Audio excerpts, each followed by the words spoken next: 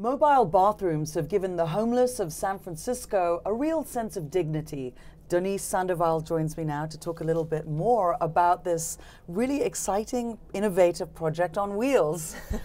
Tell us about it. So, um, Lava Mae is essentially a mobile hygiene bus that has it's a they're retired or decommissioned public transportations buses that we have gutted and turned into two complete bathrooms with shower, toilet, sink, and a small changing area.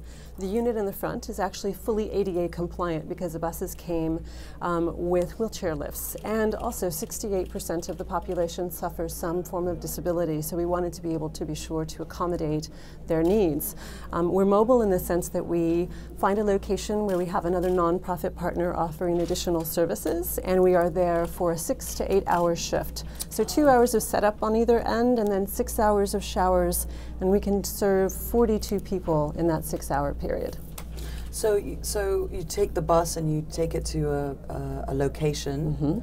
and then people can come in and shower. Yes. So, how, how much does the water supply sustain for that So the interesting thing is I use a lot of water. Yes, yeah, and women use more than men. Yes, um, we do not carry water on board because it, it would destabilize the bus. So we have right. a special relationship yeah, right. with the city so to tap into the white top fire um, hydrants, and we actually use very so use little fire water. hydrant water. We, and it's totally potable. You can drink it. Really? yes. What if there's a fire?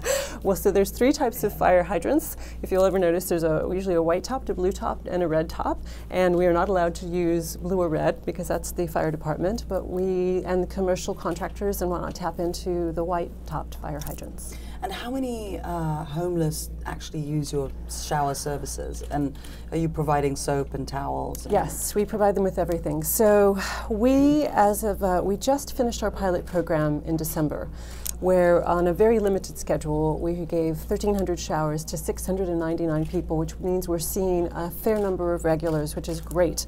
So we're serving a lot of people who have jobs but can no longer afford to live in shelter. Uh, they're in their cars or they're on their wow. streets.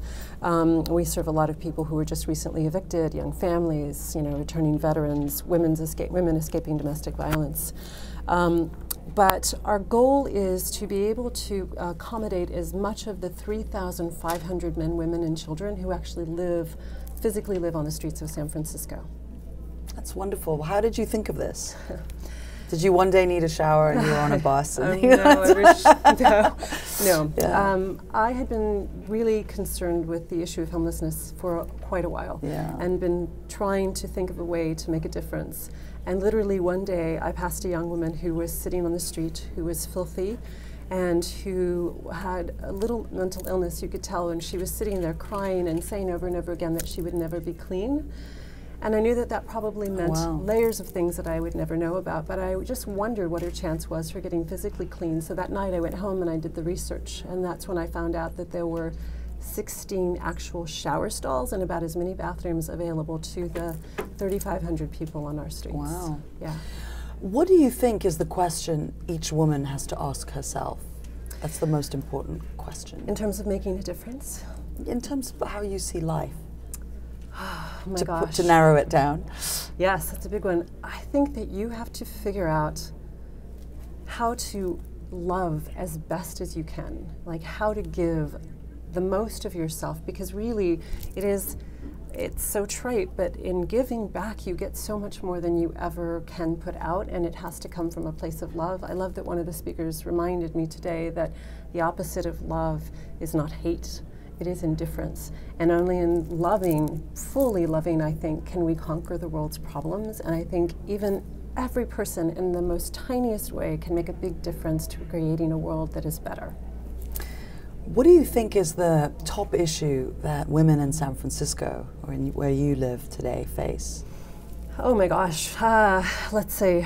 Um, you know, San Francisco is sort of the, the heart of creativity, technology, innovation, all of that. But I think, like women all over the world, there is still massive inequality in terms of opportunity.